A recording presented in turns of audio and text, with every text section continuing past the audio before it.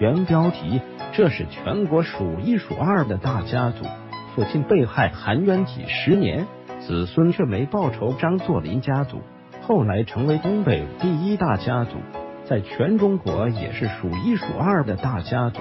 除张作霖外，他共生有八个儿子，其中出了三个将军。张家子孙个个很有出息，少有人能及，可谓世家大业旺。然而张家却有一桩痛苦的家族旧事，一则冤案压在张家人头上几十年，迟迟伸不了冤。别说张家人觉得窝气，连外人谈起都为张家打抱不平。这是什么事情？那就是张作霖的父亲张学良的爷爷张有才之死。张有才名叫有才。其实没财没钱，他有一个大嗜好，天生好赌。兄弟分家时，他带着妻子王氏和孩子们，用分家得到的财产，跑去海城架账寺开了个小商铺。然后他把铺子由妻子看着，自己外出专门去赌博。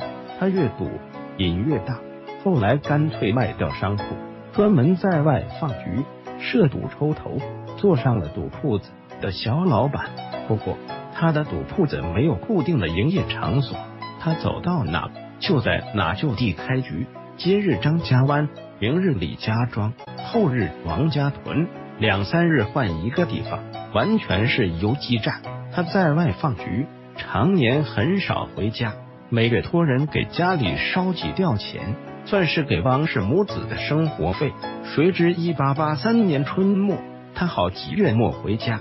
也没给家里烧钱，王氏家中无米下锅，孩子们饿得嗷嗷直叫，急了坐不住，四处托人寻找张有才，但是张有才全无音讯，居然失踪了。难道是他发了财，带女人跑了？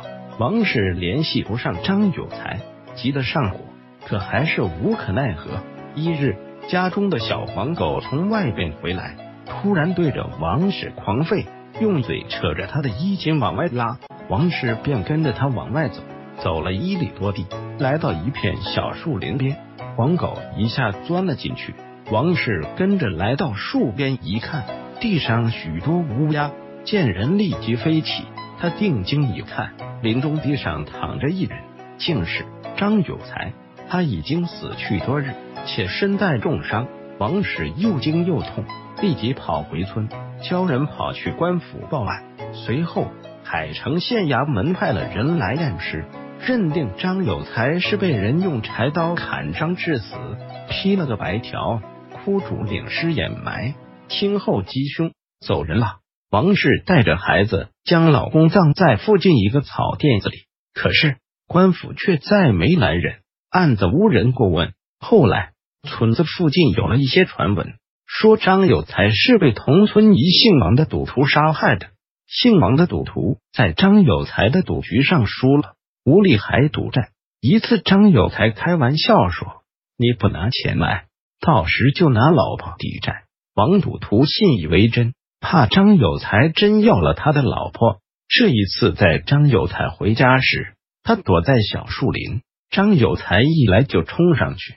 操刀几下就将张有才砍倒在地，断了气。事情有了眉目，顺藤摸瓜就可找出杀人凶手。可是找官府得花钱，王氏和孩子姑都解不开，哪里还有钱往县衙送？结果这宗人命案也就不了了之。张有才死后，王氏生活无着，告诫也无门，不得已携带子女逃荒。跑到东沟子才定居下来。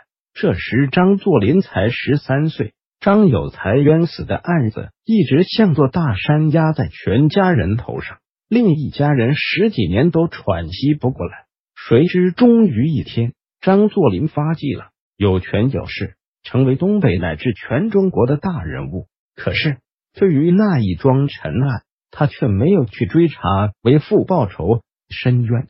之后。他的儿子们也没有去找王姓赌徒去报仇，杀父之仇不共戴天。张家的大赌却在海城传为佳话。返回搜狐，查看更多责任编辑。